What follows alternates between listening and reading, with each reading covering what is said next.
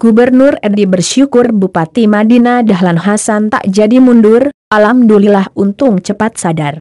Gubernur Sumatera Utara, Edi Rahmayadi saat ditemui sesuai melaksanakan salat di Masjid Agung, Jalan Pangeran Diponegoro, Kota Medan, Kamis, 25 April 2019. Beberapa hari lalu, media sosial diramaikan oleh beredarnya surat pengunduran diri Bupati Mandailing Natal, Madinah, Dahlan Hasan Nasution. Surat itu ditandatangani 18 April 2019 atau satu hari pasca pemilihan umum yang ditujukan kepada Presiden dan Kemendagri. Sementara itu, Kepala Biro OTD Asumut, Basarin Yunus Tanjung mengatakan, belum mengetahui apakah bupati tersebut jadi atau tidak mengundurkan dirinya dari jabatan. Akan tetapi hingga saat ini, Pihaknya masih melakukan komunikasi dengan pemerintah Kabupaten Mandailing Natal dengan melalui surat.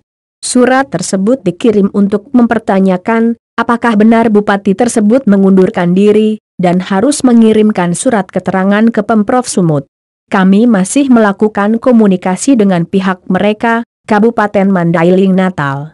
Jadi kalau batal mundur atau bagaimana, langsung saja tanyakan kepada yang bersangkutan, katanya.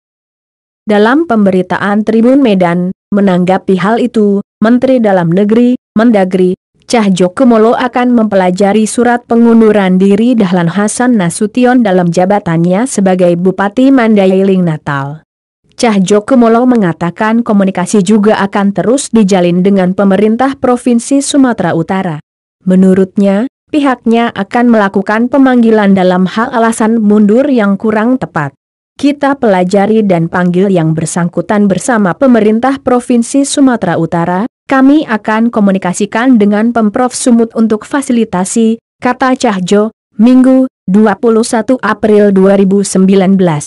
Selain alasan yang tak lazim, Cahjo menilai alamat surat yang ditujukan tidak tepat karena seharusnya ditujukan pada DPRD Mandailing Natal.